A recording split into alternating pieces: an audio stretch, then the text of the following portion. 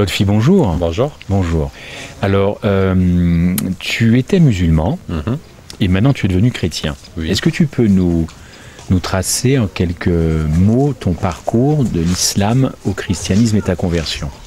Ma conversion est miraculeuse parce que j'ai, voilà, c'était en 2012 et j'avais rencontré une personne qui était chrétienne. Donc euh, c'était une femme euh, que j'étais avec elle en couple. D'accord Et moi, j'étais, j'étais dans la prière, etc. Et elle m'a mis au défi euh, de, de me, me renseigner sur l'islam. D'accord. Et moi, quand on est musulman, en fait, euh, on cherche à convertir l'autre. D'accord. C'était un principe de Voilà, base, a priori D'accord. Donc on cherche à convertir l'autre. Et on pense que euh, leur croyance, elle est, elle est fausse. Mhm. Le christianisme, donc, pour euh, un ancien musulman, euh, je peux vous dire que pour les musulmans, en fait, c'est quelque chose qui est, euh, qui est pas, qui mène pas au paradis, qui mène à l'enfer. Donc, j'ai essayé de chercher des choses d'abord contre Jésus Mhm. et pour mettre d'abord, comment dire, la faire douter sur sa foi. D'accord. Et donc, j'étais sur Internet, je cherchais, je cherchais, il y a beaucoup de sites qui, euh, qui relatent euh, cela, qui mettent euh, comme quoi Jésus n'était pas le Fils de Dieu, etc. Et moi, j'ai fait un long rapport sur ça et euh, en fait, j'ai, euh, j'étais sur YouTube Mhm. et j'ai regardé la vidéo d'un ancien musulman converti au christianisme. Et quand on voit cette vidéo, en fait, on est en train de se reposer la question est-ce que l'enseignement qu'on a reçu quand on était jeune, Mhm. est-ce que c'est la vérité? Correspond à la vérité. Voilà. Et donc, on est sceptique. Quand on connaît ce que euh, Mahomet a fait, en fait, quand on fait des recherches, on est sceptique. Mhm. Et ce qui, euh, ce qui se passe, c'est que j'ai demandé à mon ex d'aller à un magasin de, de livres et de rechercher une Bible, comme ça je, puis, je peux lire cette Bible. D'accord. Et euh, bon, il y avait en fait que euh, des Bibles de catholiques. Donc elle, elle était protestante. Mhm. Donc elle me dit non, cette Bible-là, c'est euh, c'est pas la bonne. Mhm. Donc euh, j'étais en train de chercher dans le magasin et j'ai trouvé un- il restait un seul exemplaire du livre de Marc Gabriel. Mhm. C'est un ancien imam converti au christianisme. Et qui connaissait le Coran par cœur à 12 ans. Donc euh, c'est pas tout le monde qui est capable de faire ça, parce que pour connaître l'arabe euh, littéraire, il faut vraiment des études, etc. Et euh, donc il a fait, euh, il était enseignant imam, il a fait des cours de professeur de, euh, de- de- d'islam Mhm. à Al-Azhar, à l'université Al-Azhar. En Égypte Voilà, tout à fait.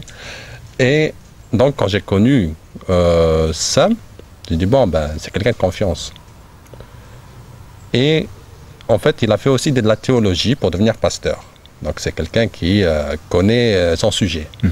Il a fait le livre Jésus et Mahomet que j'ai fini en trois jours. Donc, c'était au mois de Ramadan de 2012, c'était en août. Donc, euh, je l'ai fini en trois jours et de là, j'ai décidé à me convertir.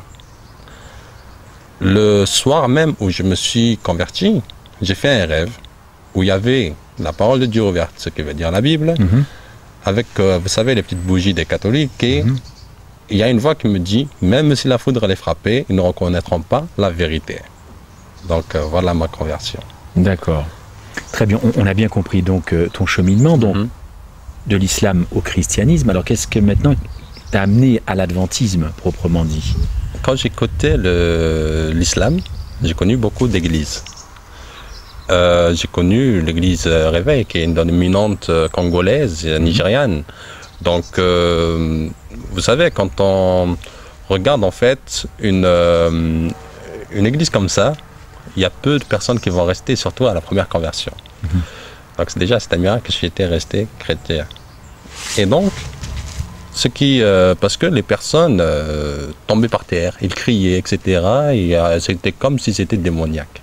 De ma- Et j'ai demandé à mon ex en fait de partir dans une église de blanc parce que pour moi les, les Africains en fait c'était tous pareils, euh, voilà donc euh, ils avaient tout le temps des trucs comme ça. Et quand j'étais dans l'église de blanc en fait, j'ai vu que euh, le pasteur de cette église était quelqu'un de, violent, donc qui menaçait les, croyants, etc. Et donc je me suis dit, ouais, mais c'est pas de la chrétienté ça, parce que quand j'ai lu la Bible, Jésus est amour. Donc j'ai, je suis parti de cette église et j'ai été à une église qui, était baptiste, à côté de chez moi, mm. pour ne pas perdre en fait le rythme, etc. Et ce qui, ce qui s'est passé, c'est que j'ai prié Dieu de me mettre dans, dans son église. Au bout d'une semaine, j'ai eu la réponse de l'Éternel par une sœur qui est, qui j'étais dans un foyer en fait, mhm. parce que j'étais resté par ma famille. Et j'ai, euh, cette sœur m'a dit, est-ce que tu connais l'importance du sabbat? Moi j'ai dit, ouais, mais le sabbat c'est pour les juifs. C'est la réponse classique. Voilà. Je dis, ouais, mais pourquoi tu me parles de sabbat? Parce que les chrétiens respectent dimanche. Jésus est ressuscité dimanche. Hmm. Donc on se dit, ouais, ben, les chrétiens respectent dimanche. Après, on me dit, non, mais regarde, euh, dans Luc 24, c'est écrit le premier jour de la semaine, après le sabbat, le premier jour de la semaine. Donc euh, Jésus, il a ressuscité le premier jour de la semaine. Le quatrième commandement de Dieu dit que le, quatrième, le sabbat, et voilà, c'est le jour qu'il faut se reposer. Donc euh, de là, j'ai compris ça. Et je suis parti à une conférence, en fait, de, de, réformés adventistes. Mhm. Et j'ai euh, j'ai euh, vu c'est une personne, en fait, mettre les, les dix commandements que les catholiques ont modifiés à les dix commandements de l'éternel. De la Bible, non Voilà. Et donc j'ai dit, ah, mais c'est ça la vérité. Donc j'ai choisi d'être adventiste. Réformé, certes, j'ai été réformé. Et euh, de nouveau, le comportement de ces réformés, quand j'étais parti avec eux dans une mission euh, au Kenya, ils n'étaient pas vraiment chrétiens. Donc je me suis dit, bon, ils ont quitté l'église adventiste. Pour quelle raison? Est-ce qu'il y a un fondement biblique pour quitter cette église, la maison de Dieu? Et donc je suis parti dans l'église adventiste. Donc voilà mon cheminement en fait.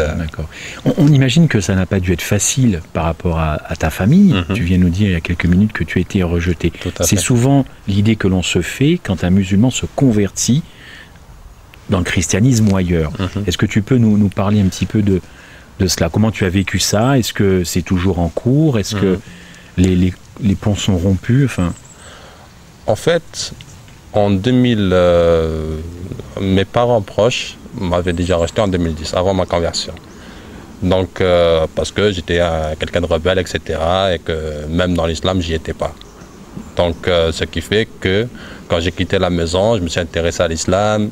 Et euh, donc, j'ai connu cette croyance, etc. Mais je dis aussi que en Algérie, quand j'ai à l'école, j'ai fait des écoles, des études islamiques. Donc, ce qui fait que euh, l'islam, je le connaissais déjà. Et l'enseignement de mon père euh, aussi, parce que c'est quelqu'un de très euh, respectueux envers l'islam. Donc en 2012, quand je me suis converti, le reste de ma famille m'a rejeté. Dans l'islam, le vrai islam, l'islam qu'il est pratiqué, ça veut dire l'islam radical, parce qu'il y a l'islam modéré et l'islam radical. L'islam radical, dit même qu'il faut assassiner celui qui quitte l'islam. Parce que c'est un traître.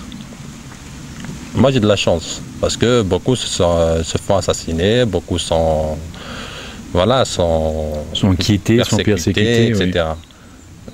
J'ai eu des persécutions, certes, parce que quand on, quand on connaît une nouvelle vérité et qu'on sait que euh, les personnes qui sont dans l'islam ne connaissent point cette vérité, on essaie de la montrer, etc. Et donc, euh, on se heurte à de la persécution, à des menaces, etc. Donc, euh, voilà, j'ai été rejeté par ma famille en, en 2012. Et en fait, j'ai repris contact avec mon oncle récemment, qui euh, était, on va dire, il a été converti en témoin de Jéhovah. Après, il est, revenu en fait à l'islam. Mhm. Mais il est très ouvert et même il m'a dit qu'il va venir voir l'église adventiste. Donc, voilà. Tu n'as pas souhaité qu'on te voit ton visage. Est-ce que c'est pour des raisons de sécurité? Tout à fait. Tout à fait, parce que euh, on ne sait jamais avec euh, des musulmans. On peut, on peut pas euh, montrer son visage comme ça, sans, sans, se heurter à des menaces, à même des agressions. Euh, voilà, donc c'est surtout quand on parle de l'islam, comme je parle, et encore, je n'ai pas dit grand-chose de l'islam, parce que si je parle maintenant des vérités de l'islam, euh, si j'aurais été visage non découvert, enfin, visage découvert, découvert pardon. donc, ce qui fait que j'aurais sûrement eu des grands problèmes. Des problèmes. Alors maintenant que tu es chrétien adventiste, euh, ces, vérités, tu les as euh, découvertes évidemment. Comment tu vis ce christianisme? Tu as 24 ans. Mhm. Quand euh, Dieu nous touche, en fait, ce qui, se, ce qui se passe, c'est qu'il nous montre des vérités. Les vérités sur, son, sur notre ancienne croyance pour que nous puissions en fait montrer aux musulmans que cette, euh, cette croyance n'est pas la vraie. Et donc on se heurte à des menaces, etc. Donc euh, moi, aujourd'hui, quand j'aime partir en mission, par exemple, euh, j'étais au Kenya après l'attentat, enfin, les attentats de, de Nairobi, mhm. pour parler de l'islam. C'était important pour moi de montrer c'est quoi l'islam. Parce que certains disent que c'est une croyance de paix, mais c'est pas vrai. Parce que l'islam, il faut être clair, c'est pas Mohamed n'est pas, n'est pas quelqu'un de paix, quoi. Et donc j'ai voulu, par cela, euh, montrer au monde ce qu'est l'islam. Je fais euh, des, euh, j'ai un site internet. Hmm. Je fais aujourd'hui une interview et quand je pars dans des pays, je parle de l'islam. D'accord. Donc le, Seigneur, en fait, a une mission pour moi parce que je suis un miraculé de, de la vie. Euh, j'ai échappé à la mort plusieurs fois. Et il a une mission pour moi de prêcher aux, personnes qui ne connaissent point cette croyance, ce qu'est cette croyance. Dernière question, ça doit pas être difficile. Enfin, plutôt, ça doit être difficile de prêcher cette, euh, vu que tu as fait cette conversion. Mhm.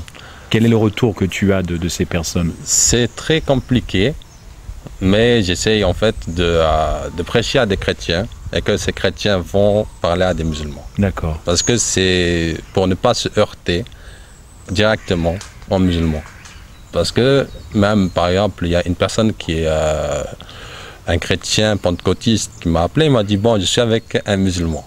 Je vais te passer le téléphone.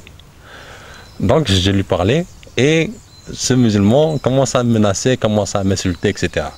Donc, imaginez si j'étais en face de lui j'aurais sûrement eu une agression. Mhm. Donc euh, voilà, c'est ce que j'essaie de faire. Mais après, par exemple avec mon oncle, comme c'est quelqu'un d'ouvert, je parle avec lui normalement et euh, il est réceptif. Donc euh, c'est très bien. D'accord. L'autre fille, c'est ton prénom arabe, mhm. c'est bien ça Tu as donc changé de prénom? Tout à fait. Alors on ne le donnera pas pour des mhm. raisons de sécurité. En tout cas, on te remercie beaucoup pour cet entretien et, et avance comme tu peux en tout cas. Merci, Merci. beaucoup.